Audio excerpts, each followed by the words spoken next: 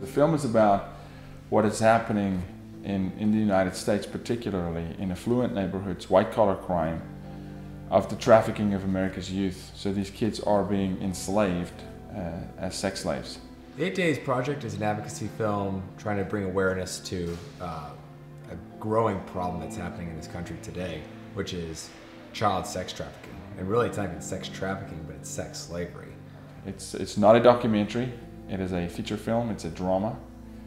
Uh, so it's a hard movie to make because we got to reenact some of these things. All the events in the film are actual events that have taken place. So it's a culmination and a combination of series of events that we were introduced to through Homeland Security and some personal experience with some some uh, people we've interviewed.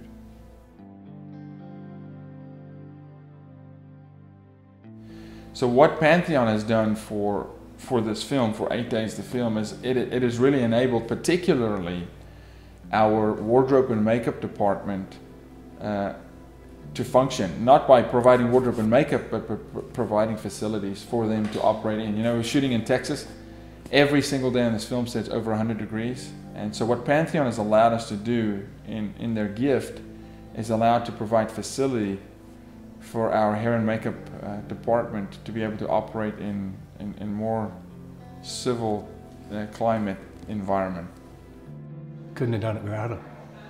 You know, we're, we're everything from our food to, you know, all the actors, all the services we have, uh, this house that we're in today, everything has been donated. We just couldn't do it without them.